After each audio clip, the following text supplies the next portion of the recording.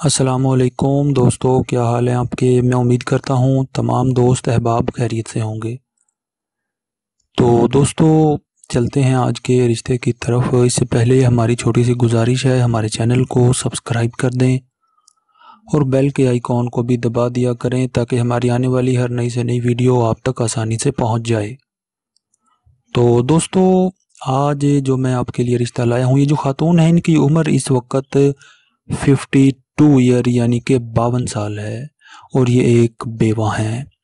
चार साल हो गए हैं, शोहर का इंतकाल हुए, एक बेटी, एक बेटा, दो बच्चे हैं, दोनों शादीशुदा हैं और ये जो ख़ातून है इस वक्त जो है कराची सिटी में रहती हैं, अपना ज़ाती घर है, किसी चीज़ की कोई कमी नहीं है, पाँच फुट तीन इंच इनकी हाइट है, सेवेंटी टू के जी इनका वेट है, काफ़ी अच्छी फैमिली से हैं, अमीर फैमिली से हैं।